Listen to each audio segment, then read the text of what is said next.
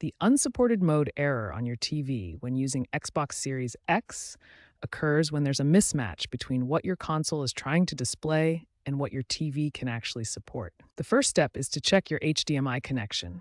Ensure the cable is securely connected to both your Xbox and TV, and inspect it carefully for any visible damage like bent connectors or frayed wires. Next, try using different HDMI ports on your TV.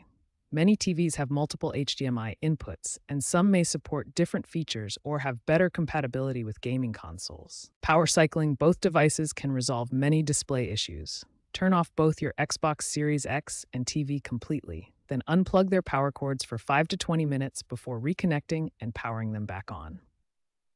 These basic troubleshooting steps resolve most unsupported mode errors.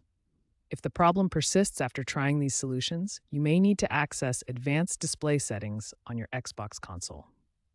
When basic troubleshooting doesn't work, the next step is to boot your Xbox in low resolution mode.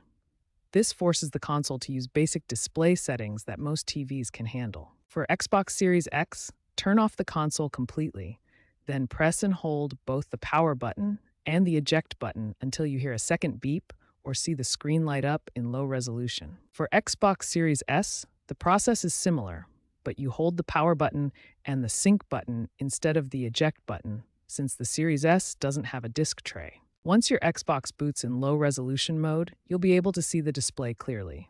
Navigate to Settings, then General, then TV and Display options to access the display configuration menu. In the Display Settings menu, you'll need to make several key adjustments. First, set the resolution to match your TV's native resolution. Enable 120 Hz refresh rate if your TV supports it for smoother gaming. Disabling HDR10 temporarily can help resolve compatibility issues, and enabling variable refresh rate reduces screen tearing and stuttering. Make sure your TV connection is set to auto detect so the Xbox can properly identify your display's capabilities. If adjusting display settings doesn't resolve the issue, you may need to reset your Xbox console. This should be used as a last resort when other troubleshooting methods have failed. Try resetting while keeping your games and apps first. This preserves your installed content while resetting system settings. If that doesn't work, you can try a complete reset that removes everything. If none of these advanced troubleshooting steps resolve the unsupported mode error, it's time to contact Xbox support for further assistance. They can provide additional diagnostic tools and may identify hardware specific issues.